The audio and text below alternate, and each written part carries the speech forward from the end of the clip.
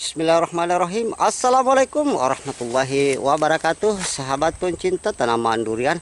Nah dalam video kali ini saya akan mengulas sedikit bagaimana cara mengendalikan gulma uh, pada uh, lahan tanaman durian kita. Seperti ada di belakang saya ini Bisa kita lihat tanaman durian saya yang begitu uh, rimbun ditumbuhi oleh gulma di sekitarnya. Nah salah satu cara yang harus kita lakukan agar tanah kita tetap subur bagaimana eh, keberadaan gulma ini kita basmi tanpa kita menggunakan pestisida atau herbisida. Nah, bagaimanakah kondisi tanaman durian saya di sini dan bagaimanakah langkah-langkah cara mengendalikan gulma yang ada di belakang saya ini supaya struktur tanah kita tetap terjaga dan pastinya tanaman durian kita akan tumbuh subur.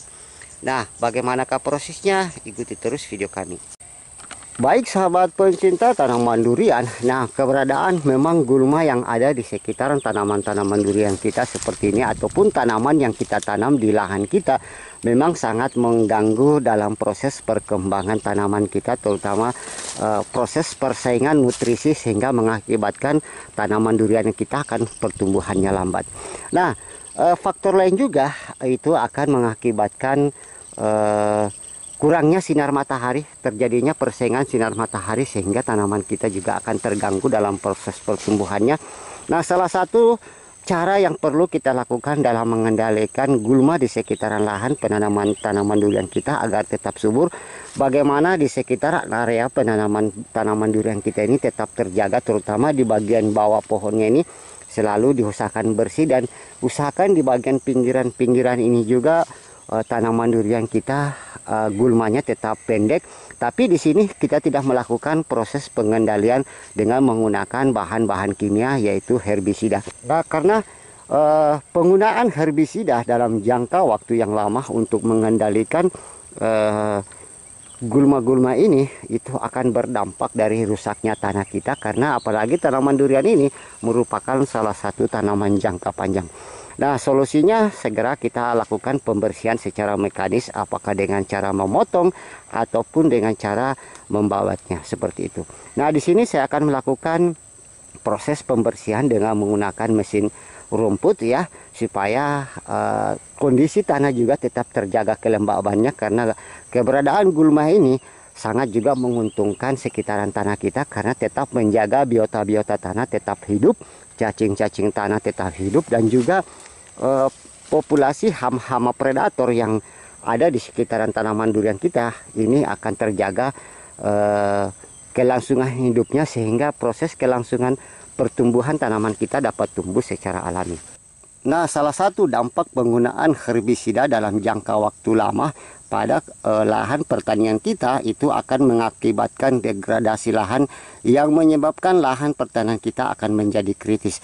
Hal ini akan mengakibatkan terjadinya erosi, kemudian tingkat kehilangan air dalam tanah itu akan sangat cepat sekali hilang. Nah, polutan yang berbahaya pada eh, herbisida yang ditebar pada tanah ini akan berbahaya dan dapat memicu pada punahnya spesies hewan terutama cacing, kemudian bio-biota kemudian biota tanah dan mikro dan mikroorganisme dalam tanah. Dengan penggunaan herbisida pada tanah yang kita lakukan itu juga akan mencemari lingkungan karena zat kimia yang terlalu zat kimia yang terlalu dalam eh, herbisida ini akan mencemari air, kemudian tanah dan berbagai-berbagai kondisi lingkungan di sekitarnya sehingga nanti akan berdampak buruk juga dalam jangka panjang pada tanaman kita yang akan kita tanam.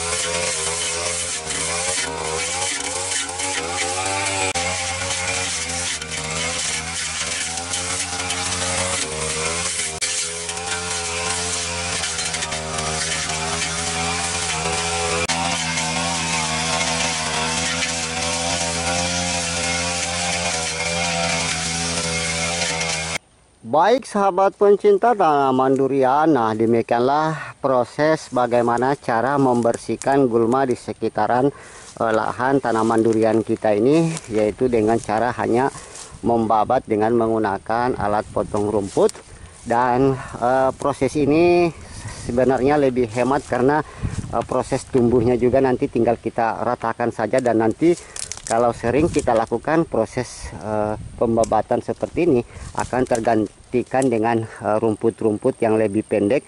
Jadi memang uh, di sini di area tanaman uh, durian ini masih banyak rumput-rumput yang berkayu seperti itu. Jadi untuk uh, membasminya teman-teman bisa melakukan proses pencabutan.